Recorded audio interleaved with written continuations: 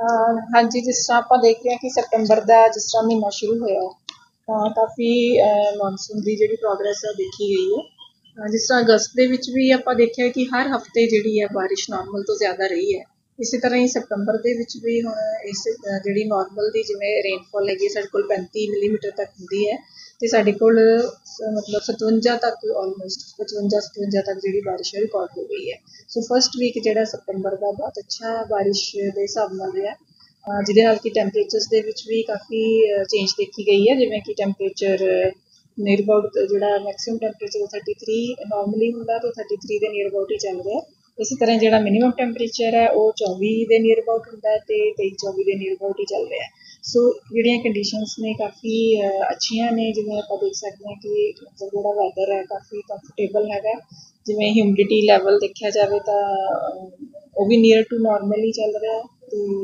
Morning ਦੀ humidity ਤੇ evening ਦੀ ਹਿਊਮਿਡਿਟੀ ਥੋੜੀ ਜਿਹੀ ਨਾਰਮਲ ਤੋਂ ਜ਼ਿਆਦਾ ਹੈਗੀ ਹੈ। ਤੇ ਜਿਹੜਾ ਇਹ ਵੈਦਰ ਹੈ ਵੈਸੇ ਤਾਂ ਐਗਰੀਕਲਚਰ ਪੁਆਇੰਟ ਆਫ ਵਿਊ ਨਾਲ ਕਾਫੀ ਅੱਛੀ ਹੈਗੀ ਹੈ ਕਿ ਅਗਰ ਬਾਰਿਸ਼ ਹੋ ਜਾਂਦੀ ਹੈ, ਪਰ ਜਿਸ ਤਰ੍ਹਾਂ ਕਿ ਅੱਜ 37 ਮਿਲੀਮੀਟਰ ਇੱਕ ਦਿਨ 'ਚ ਹੀ ਬਾਰਿਸ਼ ਹੋ ਗਈ ਹੈ, ਸੋ ਇਹਦੇ ਹਿਸਾਬ ਨਾਲ ਥੋੜ੍ਹਾ ਜਿਹਾ ਜਿਹੜਾ ਕਰੋਪ ਹੈ, ਉਹਨੂੰ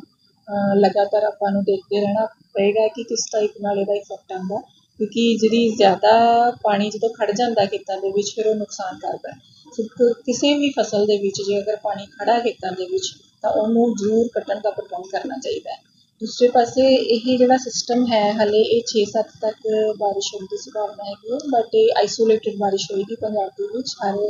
ਸਾਰੇ ਪੰਜਾਬ ਦੇ ਵਿੱਚ ਮਤਲਬ ਬਾਰਿਸ਼ ਦੀ ਸੰਭਾਵਨਾ ਨਹੀਂ ਹੈ, ਕਿਤੇ ਕਿਤੇ ਜ਼ਰੂਰ ਹੋ ਸਕਦੀ ਹੈ। ਪਰ ਜਿਹੜੀ ਆਈਐਮਡੀ ਦੀ ਫੋਰਕਾਸਟ ਹੈ, ਉਹਦੇ ਅਕੋਰਡਿੰਗਲੀ 7 ਤੋਂ ਬਾਅਦ ਕਾਫੀ ਚਾਂਸਸ ਨੇ ਕਿ ਜਿਹੜੀ ਮੌਨਸੂਨ ਹੈ, ਉਹ ਥੋੜੇ ਜਿਹੇ ਵਿੱਚ ਬ੍ਰੇਕ ਆਏਗੀ ਤੇ ਸਾਨੂੰ 4-5 ਦਿਨ ਜਿਹੜੇ ਆ ਉਹ ਮੌਸਮ ਜਿਹੜਾ ਹੈ ਸਾਫ਼ ਲੱਗੇਗਾ ਦੇਖੋ, ਜਿਸ ਤਰ੍ਹਾਂ ਬਾਰਿਸ਼ ਆਪਾਂ ਦੇਖਿਆ ਕਿ ਅੱਜ ਜਿਵੇਂ ਲੁਧਿਆਣੇ ਕਾਫੀ ਅੱਛੀ ਬਾਰਿਸ਼ ਹੋਈ ਹੈ ਬਟ ਇਹ ਹੈ ਕਿ ਸਾਰੇ ਜ਼ਿਲ੍ਹਿਆਂ ਦੇ ਵਿੱਚ ਇੰਨੀ ਅੱਛੀ ਬਾਰਿਸ਼ ਨਹੀਂ ਹੈ, ਜਿੱਥੇ ਨਹੀਂ ਹੋਈ ਉੱਥੇ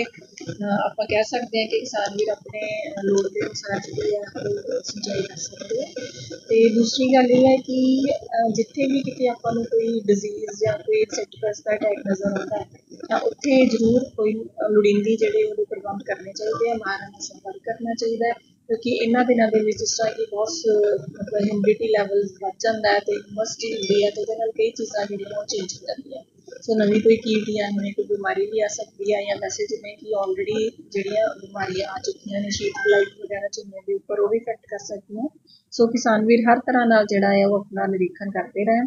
ਤੇ ਉਸ ਹਿਸਾਬ ਨਾਲ ਆਪਣਾ ਫਸਲ ਦਾ ਧਿਆਨ ਰੱਖਣ। ਜੇ ਆਪਾਂ ਪਿਛਲੇ ਸਾਲ ਦੀ ਗੱਲ ਕਰਦੇ ਹਾਂ ਤਾਂ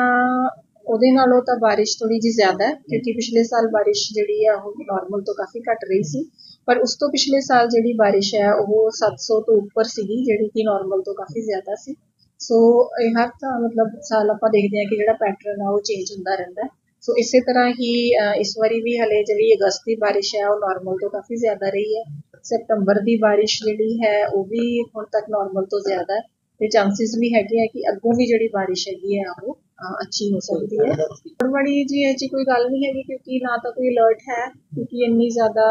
ਹੈਵੀ ਰੇਨਫਾਲ ਦੀ ਪ੍ਰੈਡਿਕਸ਼ਨ ਨਹੀਂ ਹੈ। ਲਾਈਟ ਟੂ ਮੋਡਰੇਟ ਜਿਹੜੀ ਹੈ ਉਹ ਵੀ ਹੋਏਗੀ 7 ਤਰੀਕ ਤੱਕ ਤੇ ਕੋਈ ਰਿਕਾਰਡ ਬ੍ਰੇਕ ਵਾਲੀ ਗੱਲ ਨਹੀਂ ਹੈ ਕਿਉਂਕਿ ਟੈਂਪਰੇਚਰਸ ਵੀ ਨਾਰਮਲ ਨੇ ਔਰ ਬਾਰਿਸ਼ ਵੀ ਜਿਹੜੀ ਹੈ ਉਹ ਨਾਰਮਲੀ ਚੱਲ ਰਹੀ ਹੈ।